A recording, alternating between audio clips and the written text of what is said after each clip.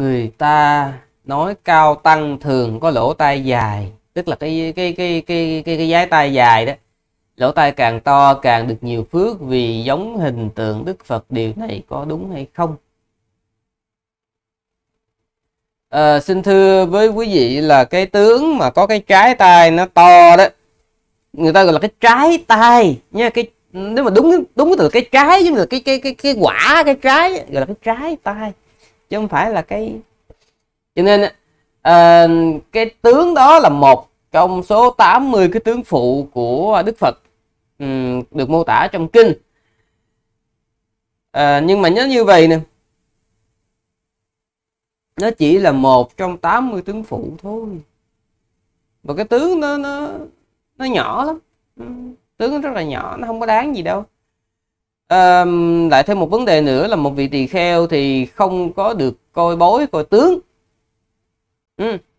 còn quý vị nói đó là à, cao tăng thường có lỗ tai ờ, là cái trái tai nó dài tức là cái vị mà trái tai nó không dài không phải cao tăng à ừ? rồi khi quý vị mặc định như vậy tức là những vị nào mà trái tay mà dài thì mặc nhiên họ là cao tăng cả hai cái suy nghĩ đều bậy bởi vì à, bởi vì sao? Bởi vì cái tướng nó không nói lên vấn đề gì hết. Tướng nó không nói lên vấn đề gì trừ khi vì đó có 32 tướng tốt thì họa chăng? Bởi vì người có 32 tướng tốt là là một cái người đặc biệt lắm, chứ không phải là người bình thường được 32 tướng tốt đâu. Còn mình chỉ được gốc thôi mà mình nói là mình cao tăng. Cẩn thận chuyện đó. Bởi vì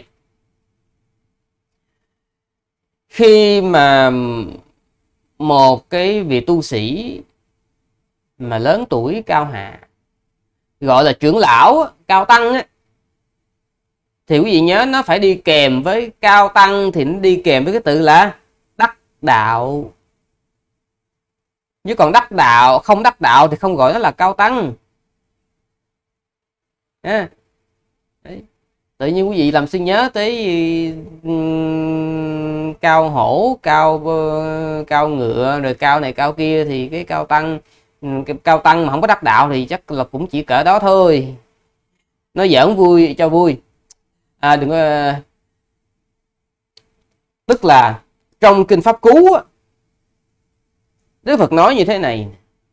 Một vị mà được gọi là trưởng lão, mà chúng ta gọi là cao tăng thì cái trưởng lão theo định nghĩa của Đức Phật vị đó phải là cái vị thánh nhân, tức là có chính đắc, thánh đạo, thánh quả. Còn những người mà chỉ đơn thuần là lớn tuổi không thôi đó, thì nó chỉ là cái vị tăng già lão, tức là cái vị sư già, chứ không gọi là cao tăng. Đấy. mà đức, trong kinh thì đức phật dùng cái từ nặng hơn nữa, nhưng mà sư nói thì nó kỳ. Tức là dù cho một vị sa di 7 tuổi mà có chứng đắc đạo quả đó chứng đắc thánh đạo thánh quả thì mới được gọi là cao tăng vẫn được gọi là cao tăng. Còn một cái vị mà sư già à, 100 tuổi hạ đi chăng nữa mà chưa có chứng đắc cái gì hết thì chỉ đơn giản là ông sư già thôi. Và cái chuyện mà cái trái tay nó dài á nó không nói là được điều gì hết nha nó không nói là được điều gì hết. Bởi vì cái người nhiều phước á nó có nhiều cái biểu hiện lắm uh, ví dụ như ngài Sivali đệ nhất về tài lộc tức là dù cho ngài ở trong rừng đi chăng nữa thì vẫn có chúng sanh đến cúng dường cho ngài. Tăng đoàn cả ngàn người chỉ cần có ngài á, là cái tăng đoàn không bao giờ đói.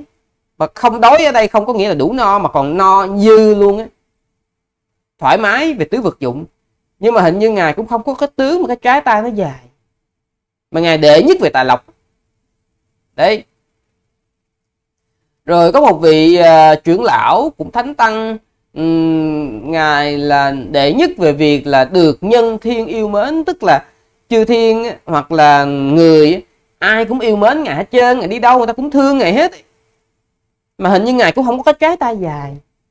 Cho nên cái trái tay nó không có dính dáng vậy không có nói lên cái điều gì hết nha. Không nói lên điều gì hết. Nó chỉ là một cái tướng phụ nhưng mà xin thưa đó, cái tướng trái tay dài của đức phật là cũng dài ở một cái mức độ nào đó chứ không phải là cái kiểu mà cái tướng mình nó hơi hơi có chút đỉnh mà mình nói là uh, chắc cũng giống phật.